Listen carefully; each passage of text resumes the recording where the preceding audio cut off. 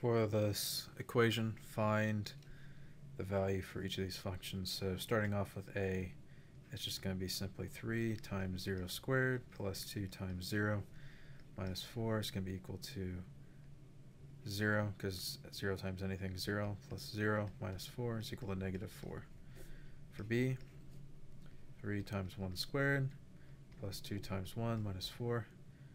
3 plus 2 minus 4 is equal to 1. For c, negative 1. 3 times negative 1 squared plus 2 times negative 1 minus 4 is 3 minus 2 minus 4, which is equal to negative 3. For d, 3 times negative x squared plus 2 times negative x minus 4. We get 3x squared minus 2x minus 4. For e, negative f of x, this is simply just rewriting this and distributing a minus sign, so it's equal to negative 3x squared minus 2x plus 4.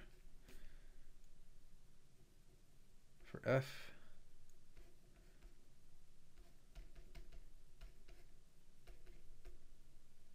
going to be equal to 3 times x plus 1 squared plus 2 times x plus 1 plus 4, oh, so minus 4.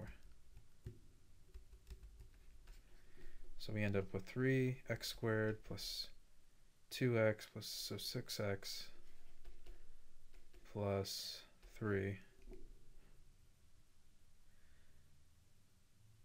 plus 2x plus 2 minus 4. So we get 3x squared plus 8x plus 1. For g, f of 2x, we get 3 times 2x squared plus 2 times 2x minus 4. And we get 3 times 4x squared plus 4x minus 4. So we get 12x squared plus 4x minus 4. And the last one, um, x plus h, so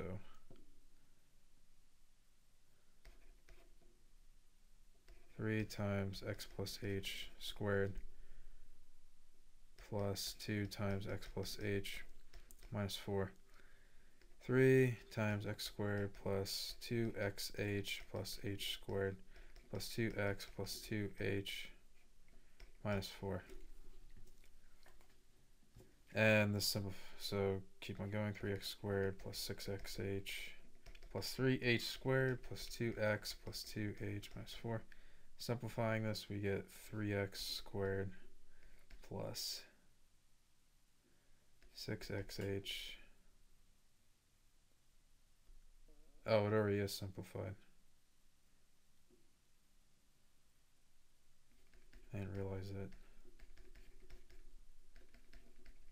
Okay, well, anyway, that's the final solution. That's it.